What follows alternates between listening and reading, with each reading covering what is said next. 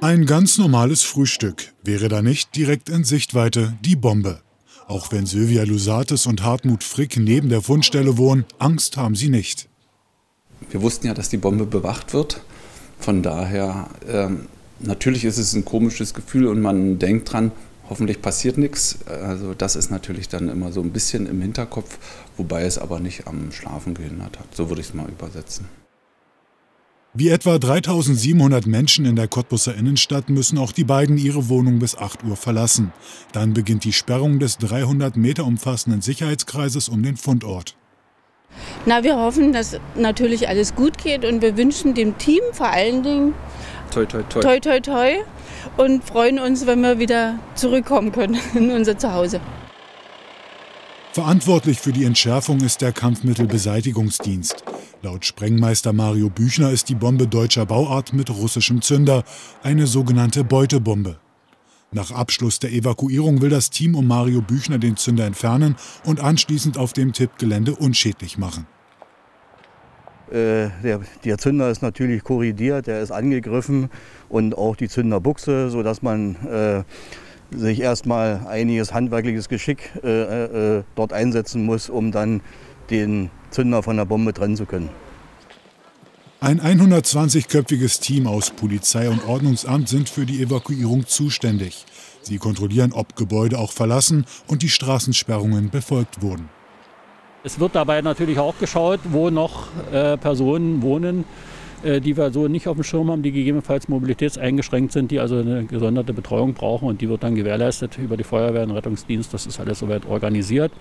Wir wissen, wir haben ca. 100 Personen, die über 80 Jahre alt sind. Da ist, liegt das natürlich nahe, dass da zusätzliche Hilfe notwendig ist. Aber wir denken, wir sind da gut aufgestellt und es läuft. Viele Anwohner sind aber nicht mehr anzutreffen. Die meisten haben ihre Wohnung schon wie angeordnet vor 8 Uhr verlassen. Die Straßen wirken wie leergefegt. Nur vereinzelte Autos im Sperrkreis müssen abtransportiert werden. Für die Evakuierung der Anwohner steht ein Rettungsbus bereit. Er steuert die Notunterkünfte an. Da der Zulauf auf die Sporthalle des Steenbeck-Gymnasiums groß ist, wurde auch die Turnhalle des Leichhardt-Gymnasiums zur Verfügung gestellt. Insgesamt haben sich in beiden Turnhallen 120 Personen eingefunden. Eine dritte Turnhalle ist bereits vorbereitet. Wir sind hier in der Turnhalle des Max-Steenbeck-Gymnasiums. Wir haben hier ca.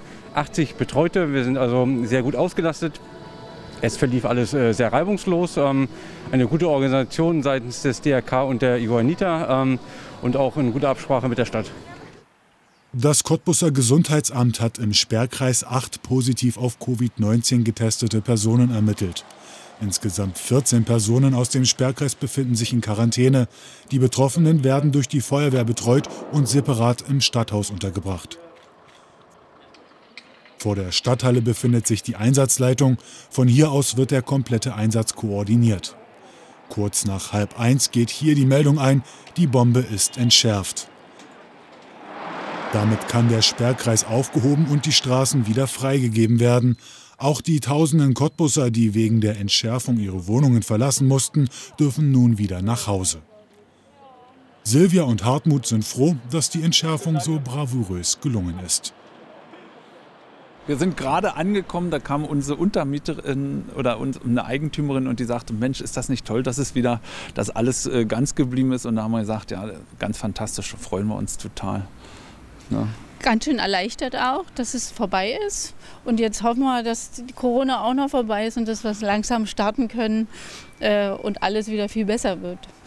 Und auf jeden Fall nochmal ein Dankeschön an das Team vom Munitionsbergungsdienst, dass das so reibungslos geklappt hat. hat. Haben wir uns natürlich sehr, sehr gefreut, aber wir sind eigentlich auch davon ausgegangen, dass es funktioniert.